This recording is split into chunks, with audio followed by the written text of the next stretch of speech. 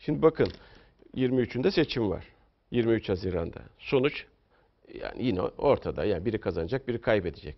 Diyelim ki sonuç yine e, iktidar partisini üzen bir sonuç oldu. Bakın o YSK'daki 7 konuşmayan üye var ya onların başı dertte. İnanın bana dertte. Yani onlar FETÖ operasyonu diye gözaltına bile alınabilirler. Eğer iktidar partisinin aleyhine sonuçlanacak olursa. Ve bakıca, bakın öyle bir durum olacak olsa bilemeyiz. %50, %50'den bahsediyoruz. Olasılıklardan beyin fırtınası sadece benimki. Ardından diyelim ki böyle oldu. Ertesi gün e, iktidara yakın gazetelerde ve yazarlarında vesaire işte e, hükümete tuzak kuruldu. CSK'da işte darbe yapıldı hükümete. 7 hakim böyle yaptı.